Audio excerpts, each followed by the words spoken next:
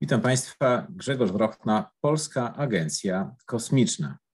E, kiedy się w ten sposób przedstawiam, często widzę zdziwione miny. Polska Agencja Kosmiczna, to my mamy taką naszą, naszą NASA, my też latamy na Księżyc i, i, i na Marsa. E, tak, proszę Państwa, latamy, latamy na Marsa i nie tylko e, na Marsa, i mówiłem o tym w poprzednich odcinkach mojej prezentacji. E, a dzisiaj powiem o tym, w jaki sposób e, te loty organizujemy. Oczywiście na Marsa nie latamy samodzielnie, tylko w ramach projektów międzynarodowych, ale mamy także własne satelity wyprodukowane w Polsce i będzie ich jeszcze więcej. E, jak to jest możliwe? Jak te satelity powstają? W jaki sposób partycypujemy w tych misjach międzynarodowych? O tym wszystkim powiem dzisiaj, bo będę mówił o tym, czym jest Polska Agencja Kosmiczna i czym się zajmuje. I mam nadzieję, że e, po wysłuchaniu tej mojej prezentacji już będziecie Państwo potrafili sami odpowiedzieć na pytanie, po co Polsce jest potrzebna Polska Agencja Kosmiczna. E, zacznę od strony formalnej.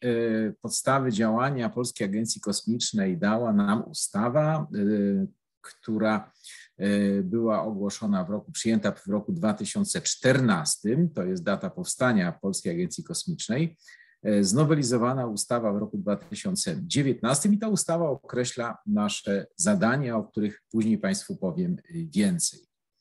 Strukturę agencji określa statut i tu dobra wiadomość, e, od kilku dni obowiązuje, dosłownie od kilku dni, świeży, nowy statut Polskiej Agencji Kosmicznej, E, który określa naszą wewnętrzną strukturę. O tym też więcej e, za chwilę.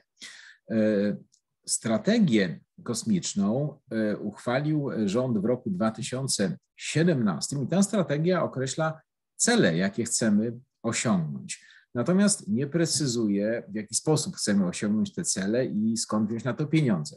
O tym wszystkim mówi Krajowy Program Kosmiczny. Już długo trwają nad nim prace, ale Mamy nadzieję, że dosłownie w najbliższych miesiącach będzie już przez rząd przyjęty. Jest już po prekonsultacjach, wszystkie uwagi zostały naniesione. Myślę, że lada dzień już zostanie przekazany e, Radzie Ministrów do konsultacji międzyresortowych.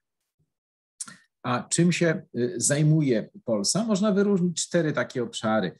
E, obronność i bezpieczeństwo, konkretnie rozpoznawanie obrazowe, bezpieczeństwo kosmiczne, służba dla, dla, dla państwa, dla administracji, dla społeczeństwa to przede wszystkim obserwacja Ziemi, komunikacja e, satelitarna, nawigacja. E, badania i rozwój, e, badania naukowe, prace rozwojowe, rozwój technologii, badania kosmosu i badania w kosmosie. I wreszcie czwarty obszar gospodarka, czyli rozwój przemysłu, i technologii kosmicznych, e, rozwój tak naprawdę rynku e, już e, produktów i usług kosmicznych także w naszym kraju. Hmm. Nowy statut zawiera mm, strukturę organizacyjną naszej agencji. Powstały nowe departamenty, które są dedykowane do realizacji konkretnych zadań, takich jak Departament Bezpieczeństwa Kosmicznego, Telekomunikacji i Nawigacji, obserwacji e, Ziemi. E, bardziej ogólnymi sprawami zajmuje się Departament Badań Innowacji, Strategii Współpracy Międzynarodowej, wreszcie Informacji i Promocji i oczywiście Biuro Organizacyjne, które wspiera działania tych wszystkich departamentów. Jaka jest rola Polsy? Przede wszystkim integratora. My nie, my nie musimy powielać zadań takich wielkich agencji kosmicznych jak NASA, bo dzisiaj już zupełnie inaczej wygląda e, wykorzystanie kosmosu. To w większości są małe firmy, instytuty badawcze, które samodzielnie budują e, aparaturę e, dostarczaną do misji albo nawet samodzielnie budują własne, własne satelity. Ale w tym kontekście bardzo ważna jest rola Polsy jako integratora i to integratora w kilku wymiarach. Po pierwsze jest to integracja potrzeb i możliwości, czyli rozpoznawanie potrzeb administracji społeczeństwa, śledzenie możliwości stwarzanych przez naukę i stymulowanie przemysłu do wykorzystywania tych zdobyczy nauki, żeby zaspokoił te potrzeby nowoczesnego państwa i społeczeństwa. Drugi wymiar integracji to integracja międzyresortowa. Różne resorty potrzebują chociażby łączności satelitarnej i żeby te systemy były kompatybilne, warto jest działania tych resortów skoordynować w sposób synergiczny, bo dzięki temu można osiągnąć więcej za mniej. I wreszcie integracja potencjału. Mówiłem o tym, że to są głównie małe firmy, instytuty badawcze i jeżeli chcemy większy projekt zbudować, to trzeba połączyć możliwości badawcze, możliwości obliczeniowe, e, zebrać finansowanie z różnych źródeł, rzadko kiedy mamy do czynienia z jednym wielkim źródłem finansowania na dany projekt i wreszcie zbudować masę krytyczną do realizacji dużych projektów, połączyć naukę, połączyć, e, połączyć przemysł. To jest ta rola integratora, ale mamy też rolę, którą nazwałbym rolą animatora, E, organizujemy e, coś, co się nazywa Cosmic Hub w Cambridge Innovation Center. Cambridge Innovation Center to jest taki, taka organizacja, taki konkretny budynek, w którym e, stworzone są warunki do rozwoju nowych firm, do współpracy między firmami, do generowania nowych pomysłów. I tam mamy nasz Cosmic Hub, gdzie organizujemy dyskusje o wpływie sektora kosmicznego na inne sektory, różne konsultacje dla naukowców, dla przedsiębiorców. Można tam po prostu popracować, można wypić kawę i zjeść coś dobrego, e, a zawsze przy kawie i czymś smacznym rodzą się, rodzą się najlepsze pomysły. Zachęcam Państwa e, do zapoznania się z ofertą Cosmic Hub na naszej stronie internetowej polsa.gov.pl. Mamy też cały pakiet działań skierowanych do studentów. Przy prezesie działa Rada Studentów, organizujemy konkurs na najlepszą pracę dyplomową, wspomagamy uczelniom w kreowaniu i realizowaniu programów studiów, programów stażowych. I wreszcie pakiet działań do dzieci i młodzieży, Future Space, to są scenariusze lekcji o kosmosie, które przygotowujemy, konkurs Moje Kosmiczne Wakacje, gdzie najmłodsi przysyłają wspaniałe prace o kosmosie. Współpracujemy także przy e, zaprojektowaniu, budowie takiego mobilnego, interaktywnego e, Muzeum Nauki, które mogłoby jeździć do różnych, nawet najmniejszych miejscowości. Organizujemy warsztaty, konkursy, spotkania z sektorem kosmicznym z kraju, e, zagranicy. Ostatnio mieliśmy kilka bardzo ciekawych spotkań z tego właśnie cyklu. E, taką widzę rolę Polskiej Agencji Kosmicznej, e, a konkretnie e, ta rola powinna się tutaj zrealizować w krajowym programie kosmicznym. Wspomniałem o tym, że jest przygotowywany i mam nadzieję, że wkrótce będzie zatwierdzony przez rząd. Taki cel ogólny to rozbudowa potencjału przemysłu i jednostek naukowych polskiego sektora kosmicznego do zaspokojenia potrzeb państwa i gospodarki oraz skutecznego konkurowania na rynkach międzynarodowych. To jest bardzo ważne, że ten program kosmiczny ma właśnie zaspokoić te potrzeby nowoczesnego państwa, współczesnego społeczeństwa, ale nie kupując coś za granicą, tylko budując własne nasze kompetencje naukowe, przemysłowe. Cele szczegółowe to właśnie rozbudowa kompetencji, zwiększenie konkurencyjności polskiego sektora kosmicznego, zwiększenie wykorzystania danych satelitarnych przez administrację, naukę, przemysł, społeczeństwo, i wykorzystanie technologii satelitarnych do zwiększenia bezpieczeństwa i obronności kraju. I te cele chcemy realizować w ramach takich czterech priorytetów. Pierwszy to budowa zdolności i konstruowania e, zdolności konstruowania i wynoszenia statków kosmicznych. Przez statki kosmiczne rozumiemy zarówno te wielkie misje na Księżyc, na Marsa, gdzie będziemy y, brali udział w dużych projektach międzynarodowych, ale także małe satelity, nawet, nawet nanosatelity, CubeSaty, takie, które się w ręku mieszczą niemalże, e, które e, można budować e, samodzielnie nawet przez małe firmy czy, czy grupy studentów. E, drugi priorytet to budowa systemu satelitarnej obserwacji Ziemi mikroglob. Chcemy mieć kilka satelitów, taką, taką małą konstelację z, e, obserwującą Ziemię optycznie, może jeden radarowo.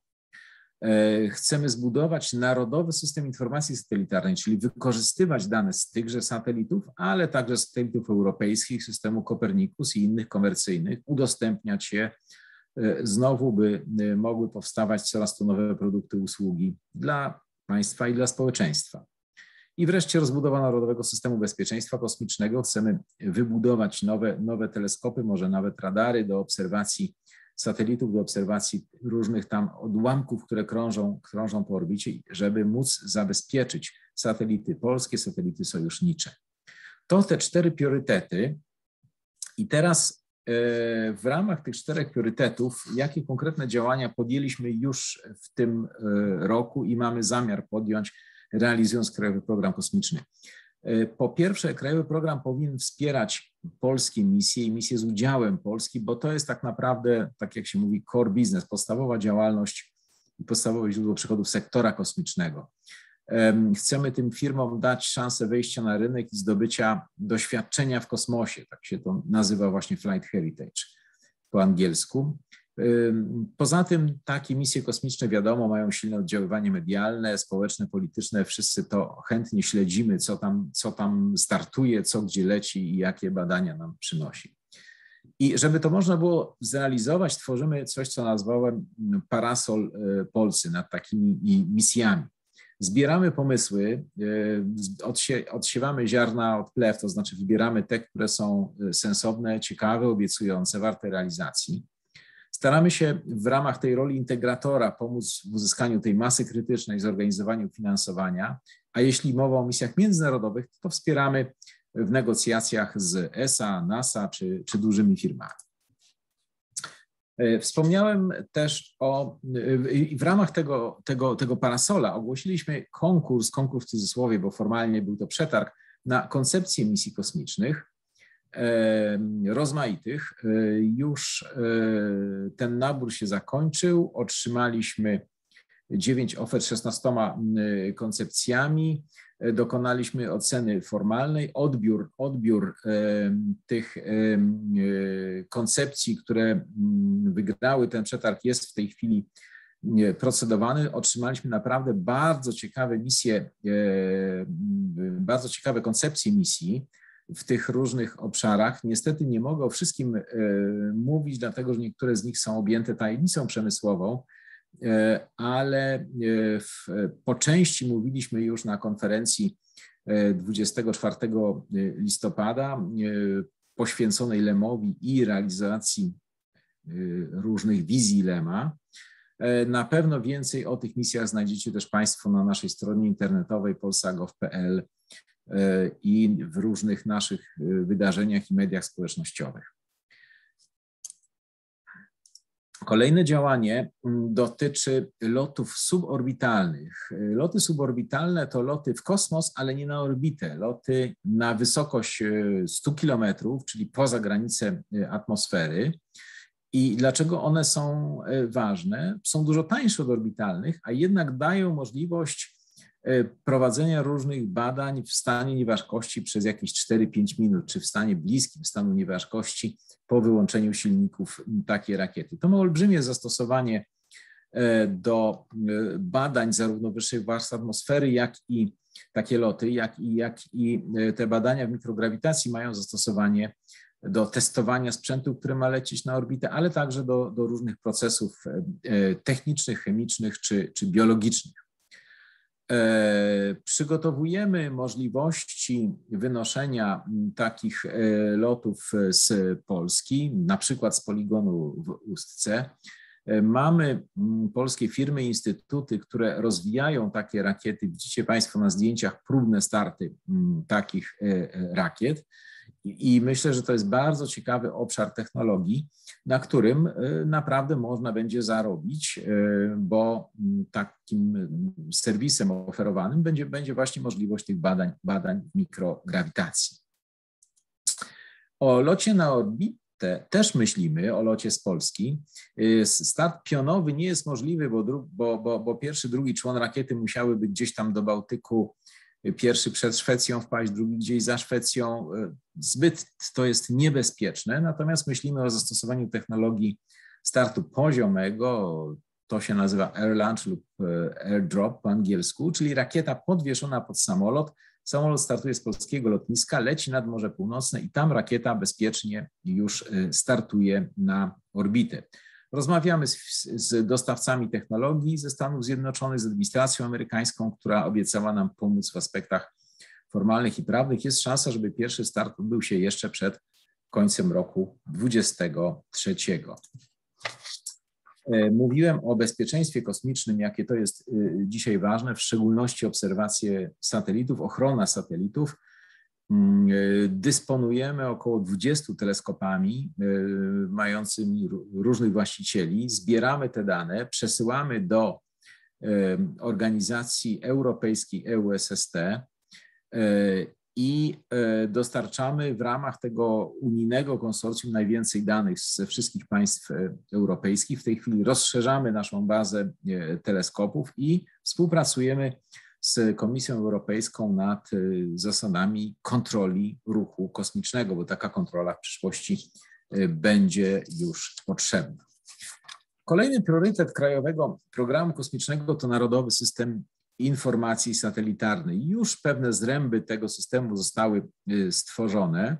E, pracujemy nad konkretnym projektem tego systemu i jeszcze w tym roku ogłosiliśmy kilka przetargów na takie przykładowe produkty i, i, i serwisy, takie jak e, mapa pokrycia terenu, detekcja zmian pokrycia terenu, co się w ostatnich latach wybudowało, ortofotomapa satelitarna, czyli nie tylko zdjęcie satelitarne, ale zdjęcie już z naniesionymi konkretnie współrzędnymi, żeby było łatwo zidentyfikować, co gdzie się konkretnie znajduje. E, monitoring wilgotności, wyspy ciepła dla polskich aglomeracji, e, osiadanie i osuwiska. To były tematy takich pierwszych produktów, które zamówiliśmy jeszcze w tym roku e, w naszym, w naszym przemyśle. Jak Państwo widzicie, te działania wymagają pewnych zdolności y, operacyjnych i to w kilku obszarach. Po pierwsze, no, jeżeli chcemy wystrzelić konstelację satelitów, to musimy mieć segment naziemny, jak to się fachowo nazywa, czyli taką stację kontroli, y, takie centrum kontroli lotu tych satelitów. Chcemy mieć centrum tego Narodowego Systemu Informacji Satelitarnej i centrum operacyjne bezpieczeństwa kosmicznego.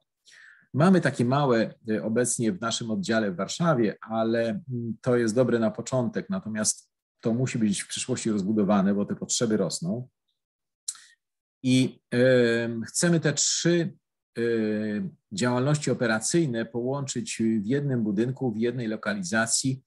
Y, chcemy w Gdańsku, gdzie jest siedziba agencji, wybudować nowy budynek, gdzie to centrum operacyjne będzie miało łatwą widoczność satelitów. E, tam jest lepsza dostępność funduszy strukturalnych niż, niż, niż na Mazowszu, a poza tym morze e, jest e, ważnym odbiorcą zarówno nawigacji i łączności satelitarnej, jak i, jak i obrazowania. Te argumenty przemawiają właśnie za lokalizacją w Gdańsku i tam mamy zamiar wybudować nowy, nowy budynek. Podsumowując, w kraju technologie kosmiczne rozwija Y, kilka instytutów i uczelni, aktywnie działa kilkadziesiąt już firm takich stricte kosmicznych, powstają ciągle nowe. Na orbitę trafiło kilkanaście satelitów polskiej konstrukcji. Polska aparatura poleciała już na kilkudziesięciu misjach międzynarodowych. Jeżeli rozwiniemy ten potencjał, umożliwi to samodzielną realizację misji satelitarnych, zaspokojenie większości potrzeb współczesnego y, państwa, y, także w zakresie obronności, stworzy nową rozwojową gałąź gospodarki. Chcemy osiągnąć 3% udziału w europejskim sektorze kosmicznym, 3%, bo tak jest udział polskiego budżetu w budżecie unijnym. Mamy nadzieję, że do roku 20, 2030 uda nam się to osiągnąć.